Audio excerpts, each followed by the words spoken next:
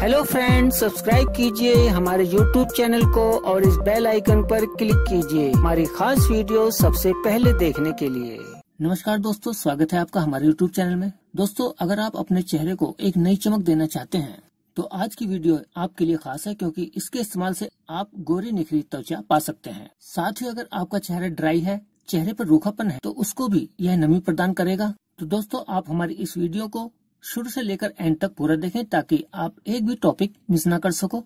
शुरू करते हैं इस नुस्खे को बनाना। दोस्तों, इस नुस्खे को बनाने के लिए आपको दो इंग्रेडिएंट की ज़रूरत होगी, जो बिल्कुल नेचुरल है और बहुत ही साधारण इंग्रेडिएंट्स हैं। दोस्तों, हमारा पहला इंग्रेडिएंट है नारियल का तेल। दोस्तों, मैं आपको बताना चाहूँगा कि नारियल के तेल में कैप्रिक एसिड, कैप्रिलिक एसिड और माइरेस्टिक एसिड होते हैं, जो बुढ़ापे के चिन्हों को भी दूर कर देते हैं और साथ ही स्किन को नमी प्रदान करता है और स्किन को चमकदार भी बनाता है। और अगर आपकी स्किन ड्राई है तो ड्राई स्किन के लिए भी बहुत ही फ़ायदेमंद माना जाता है। दोस्तों, आपने देखा होगा कि कहीं जल जाता है तो वहाँ पर नारियल के तेल का इस्तेमाल करते हैं, क्योंकि नारियल का तेल नई स्किन को लाने में काफ़ी हेल्प करता है। दोस्तों, यहाँ पर आपको नारियल के तेल की मात्रा का विशेष ध्यान रखना है। इसमें हमें दोस्तों, एक चम्मच नारियल तेल का इस्तेमाल करना है, जैसा कि आप वीडियो के माध्यम से देख रहे हो।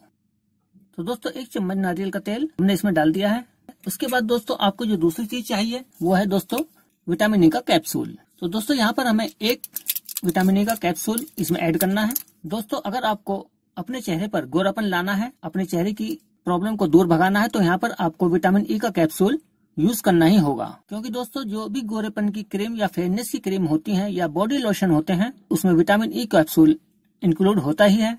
क्योंकि दोस्तों, विटामिन ई के कैप्सूल से ही चेहरे पर या स्किन पर क्लीनिंग आती है शाइनिंग आती है और व्हाइटनिंग भी विटामिन ई के द्वारा ही आती है। तो यहाँ पर आपको विटामिन ई का एक ही कैप्सूल इस्तेमाल करना है, क्योंकि अगर आप एक चम्मच कोकोनट ऑयल का यूज़ कर रहे हो तो उसमें एक विटामिन ई का कैप्सूल ही आपको ऐड करना है। तो दोस्तों, यहाँ पर आपको विटामिन ई का कैप्सूल इसमें अब ऐड कर लेना है।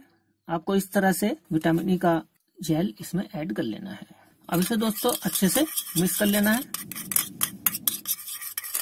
दोस्तों, इस नुस्खे को अच्छे से मिक्स करने के बाद अब मैं आपको बताऊँगा कि आपको इसे किस तरह से अप्लाई करना है और किस तरह आप अपनी स्किन पर व्हाइटनिंग और शाइनिंग पा सकते हैं। अब अपना ये नुस्खा बिल्कुल बनकर तैयार हो चुका है। तो दोस्तों, इसको अप्लाई करने से पहले आप सबसे पहले अपनी स्किन को, अपने फेस को अच्छे से वॉश कर लें सादे पानी से।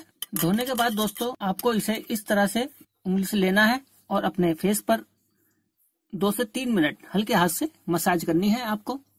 इस तरह से दोस्तों राउंड फिगर में आप अपने फेस पर, अपने स्किन पर दो से तीन मिनट मसाज करेंगे और थोड़ा अच्छे से मसाज करनी है आपको, हल्के हाथ से करनी है ताकि यह स्किन में जाकर अच्छे से अपना असर दिखा सके और हमारी स्किन यानी हमें बहुत अच्छा फ़ायदा इस नुस्खे के द्वारा मिल सके।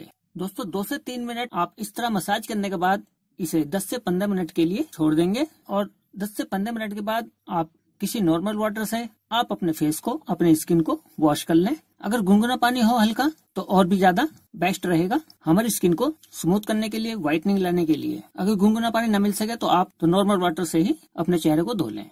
दोस्तों, आपको ऐसा सप्ताह में एक दिन छोड़कर एक दिन करना है, यानी सप्ताह में तीन बार आपको इसे अपने फेस पर, अपने स्किन पर अप्लाई करना है। और एक दिन में, दोस्तों, आप इसे दो बार अवश्य करें, यानी एक बार आप मॉर्निंग में कर लें और एक बार आप इवनिंग में कर लें। दिन में दो बार आपको यह अवश्य करना है और एक सप्ताह तक आपको एक दिन छोड़कर एक दिन करना है। दोस्तों, यदि इस नुस्खे को आप सप्ताह में तीन से चार बार यूज़ करेंगे तो आपको चौंकाने वाले रिज़ल्ट मिलने वाले हैं। मुझे उम्मीद है कि आपको ये जानकारी अच्छी लगी है।